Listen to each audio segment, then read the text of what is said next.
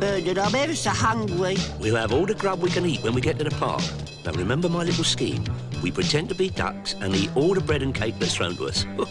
Just think of all that food. Oh, I'm thinking, I'm thinking. You thinking? That's got to be a first. Oh, Yes, I've got a bit of a thirst. Can I have a drink? a first, not a thirst. Ouch.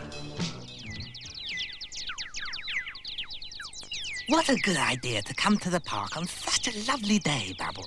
Yeah. Now Vernon and Toaster to keep an eye on, we can relax. Look, Squeak, in the lake. That big bird is a pelican. I say, I've never seen a pelican before. It's got a beak just like a shopping bag. Come on, Toaster. Let's go and get our dinner. Yeah, but won't the ducks get angry if we take their food? No, no, ducks are very friendly, and besides, we can run faster than them. you remind me of a duck, Toaster, Why's that? because you're quackers. Quack, quack, quack, quack, quack, quack, quack, Quack. Quack. Hard work doing these duck impressions. Yes, and no one's thrown them a scrap of food yet. Well, keep trying, we'll still get noticed. Quack. Here, Vernon, how big are ducks? Oh, not very big. And you're sure they're friendly? Oh, yeah, they're very friendly.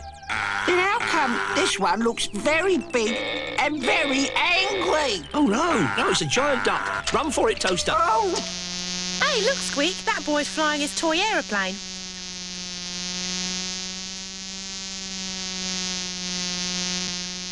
I've always wanted to fly in a plane. Well, here's your chance. It's coming into land. Let's your lift. I say, what a good idea. Oh, I think we're safe now, Toaster. But that big duck has stopped us getting any dinner. oh, look, Vernon. A lunchbox. Now, if I pull this handle, maybe it will open. Here, we, go! Toaster, you short-sighted pudding. It's not a lunchbox. It's some sort of camera. I'll stand here and you take my picture. I'll press this button, shall I?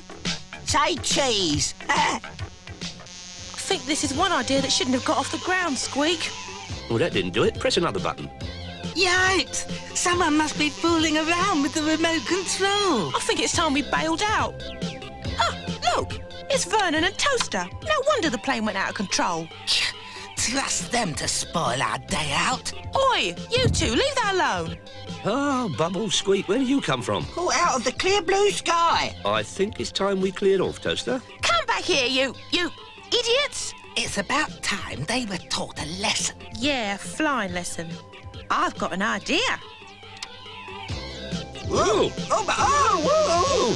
Go on, right on the nose. Of the plane, that is. Oh, Vernon, what's happened? I think we've been collared. I never thought the day would come when I'd look up to Vernon and Toaster. They always were high spirited. Help! Push down! Anything you say, Vernon. Oh! Oh! Oh, oh no, it's that giant duck again. Swim for it, Toaster.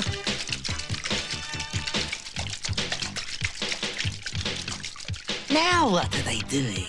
The breaststroke, I think. Oh,